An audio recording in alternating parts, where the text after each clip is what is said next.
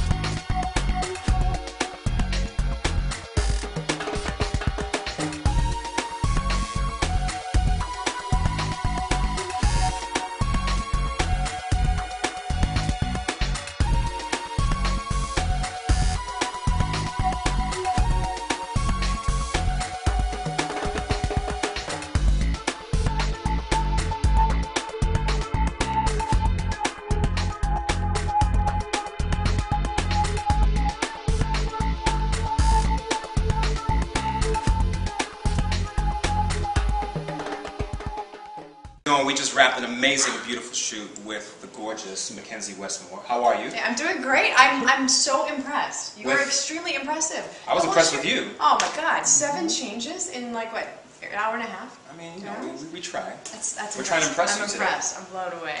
Good, good. We're so happy to have you today. Um, for those that don't know, kind of give us like a brief little rundown of your family.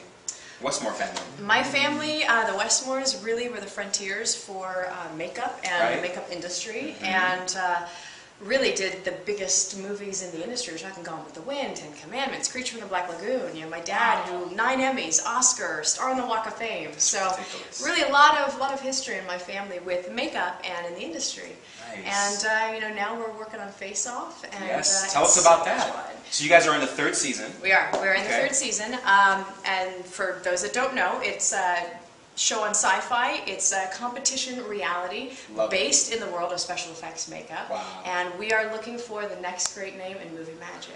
Wow, So we are in the midst of it now with a live show, our first live show Okay. coming up October 31st. And what happens in the live show, actually? America gets to vote. Oh, cool. America gets to choose who the, the winner of season three will be. Nice. So this is a big thing for us, big change. This is great. it's wow. Well, guys, McKenzie is going to be in our October issue of Regard Magazine. Check it out when it comes out October 17th, regardmag.com. And uh, if you guys want to keep up with McKenzie with all the other projects she has going on, you can on Twitter. Your Twitter handle is. Here's the funny thing. It's at McKenzie Westmore, but no E.